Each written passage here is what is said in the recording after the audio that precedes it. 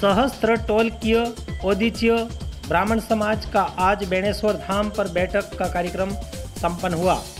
साबला, राजस्थान डूंगरपुर ज़िले के साबला उपखंड के अंतर्गत वागड़ का प्रयाग कहा जाने वाला एवं आदिवासी महाकुंभ के रूप में माना जाने वाला त्रिवेणी संगम बेणेश्वर धाम पर आज सहस्त्र टोलकीय ओदिचीय ब्राह्मण समाज की बैठक संपन्न हुई, जिसमें समाज के विभिन्न बिंदुओं पर चर्चा की गई। जिसमें यज्ञों पवित्र संस्कार, नवरात्रि कार्यक्रम पर विस्तार से चर्चा की गई। बैठक में अध्यक्ष भूपेंद्र भट्ट, शेषपुर उपाध्यक्ष दक्षेश जोशी तालोड़ा, सचिव जगदीश जोशी भिलुड़ा, ऋषभ जोशी पसलासा छोटा, हरीश जोशी ठीकरिया, सुरेश जोशी बोड़ीगामा छोटा, दिनेश जोशी भावेश जोशी पुनाली, राजेश जोशी, दिनेश भट्ट तालोड़ा की उपस्थिति में यह मीटिंग का आयोजन संपन्न किया गया।